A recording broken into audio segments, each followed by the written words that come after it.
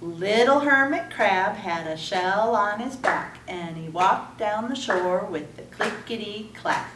He walked down the shore where he liked to roam with the shell on his back that he called home.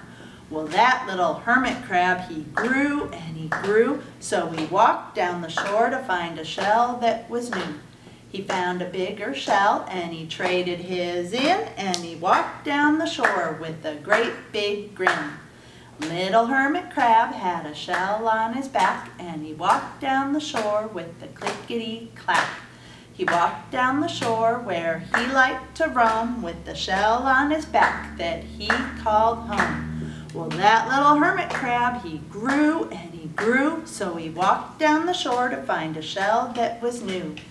He found a bigger shell and he traded his in and he walked down the shore with a great big grin. Little hermit crab had a shell on his back and he walked down the shore with the clickety clack. And as he walked down the shore, he left shells behind for little children to find.